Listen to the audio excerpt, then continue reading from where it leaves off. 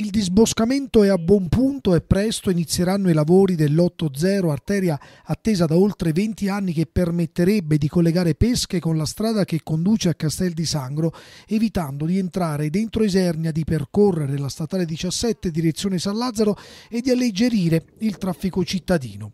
Ma c'è chi non è d'accordo e manifesta per salvare il verde, le sorgenti di San Martino, i reperti antichi. Penso che i lavori sì, bisogna pure farli per il bene del pubblico, del bene comune, ma qua il bene comune non lo vedo, io vedo bene di pochi, sinceramente, perché e vedo molto disastro, perché questa natura io la conosco, questi posti io li conosco.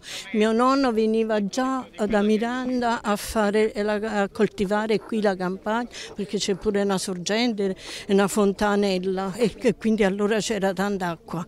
Eh, quindi dico, penso che ehm, non bisogna fare i lavori a tutti i costi.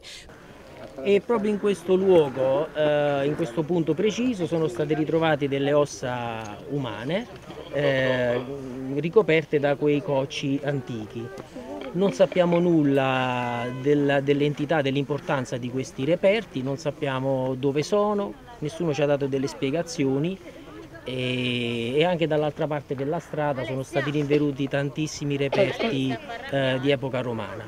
Cittadini di Pesca, Isernia e Miranda si sono dati appuntamento per dire no ad un'opera che definiscono scellerata e per chiedere l'intervento dei primi cittadini, in particolare di Piero Castrataro che in campagna elettorale ha promesso che avrebbe approfondito la questione. Noi crediamo che anche prima che si facciano gli appalti ci siano tutte le condizioni per bloccare l'iter procedurale.